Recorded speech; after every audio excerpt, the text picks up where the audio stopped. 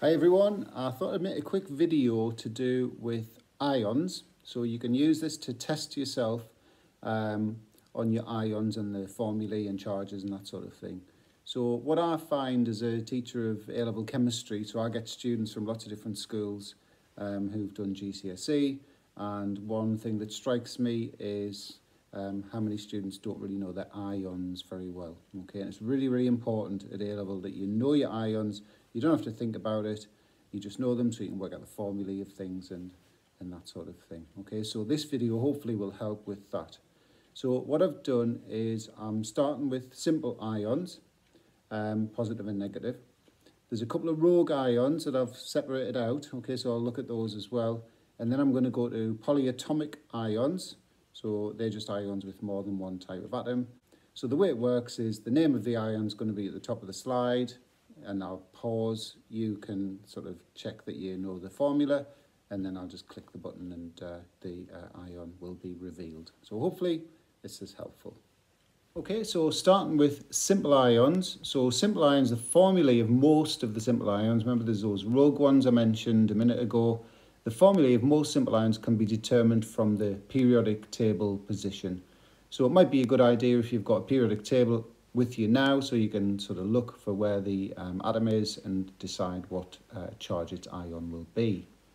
Okay, so starting with the positive ions, first one is hydrogen. So that's at the top of group 1, H+. plus. Barium, so that's in group 2, so it forms a 2 plus ion, Ba2 plus. Lithium, so that's in group 1, so it's going to be Li1 plus. Sodium, also in group 1, so Na1 plus. Magnesium, that's in group 2, so it's Mg2 plus. Potassium, that's in group 1, so it's K plus. Aluminium, that's in group 3, so it's Al3+. plus. Rubidium, that's in group 1, so Rb+. plus. Gallium, paused a little bit there so you could find it. Ga3+, plus, that's in group 3. And the final positive ion is the calcium ion, Ca2+, plus, group 2. Okay, so moving on to the negative ions now. So the first one is the ion of fluorine, which we call the fluoride ion. Fluorine's in group 7. So it's going to form the F minus ion, 1 minus. Sulfide, that's the ion of sulfur, not to be confused with sulfate, which is a polyatomic ion. You'll see that in a moment. So sulfur, group 6, so it forms a 2 minus ion. Ion of chlorine is called chloride, group 7, Cl minus. Ion of oxygen, oxide. Oxygen's in group 6, so it's 2 minus, O2 minus. Ion of bromine, bromide. Bromine's in group 7, so Br minus. The ion of nitrogen is called the nitride ion, not nitrate. Again, that's a polyatomic ion. Nitrogen's in group 5, so it forms the N3 minus ion against 3 electrons to get a 3 minus charge full outer shell. Iodine's ion is called iodide, I minus, group 7. And the last one of these is the ion of phosphorus, which is called phosphide, not phosphate. Again, that's a polyatomic ion.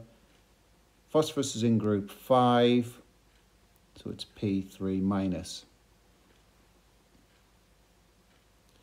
Okay, so those ions, hopefully quite easy to establish the formula from the periodic table position A couple of rogue ones now. These are simple ions. There's only one type of atom in these, but they're rogue, I've called them, because you can't really tell from periodic table position what their formula will be.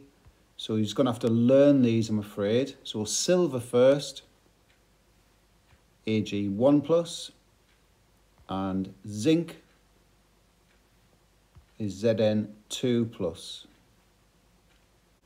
So moving on to the polyatomic ions now. So these contain more than one type of atom bonded together. I'm afraid we're just going to have to learn these ones off by heart. You can't really tell, you can, but you can't really tell quickly and easily uh, the formula from where the atoms are in the periodic table. So the easiest thing is to learn them. There's not many. Okay, so the first one is the ammonium ion. That's NH4 with a 1 plus charge. Carbonate now. CO3, 2 minus charge. Hydroxide. That's OH with a 1 minus charge. Sulfate, also known as sulfate 6, that's a Roman 6 VI. Uh, when you learn about oxidation number, that um, 6 will make sense. I'm not going to explain it in this video. I've done other videos on oxidation number. You could have a look at those if you wanted to. So the sulfate or the sulfate 6 ion is SO4 with a 2 minus charge. So nitrate or nitrate 5. So basically, if you see nitrate, it means nitrate 5.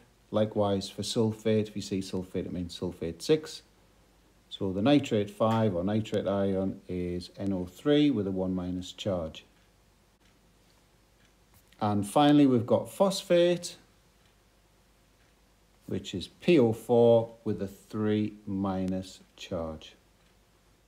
Okay, hope that was helpful. Uh, you should always be checking you can remember these ions. Like I said at the start, really important that you know them off by heart, I suppose. So yeah, there's no escape. You've got to just learn them. All right, cheers. Bye.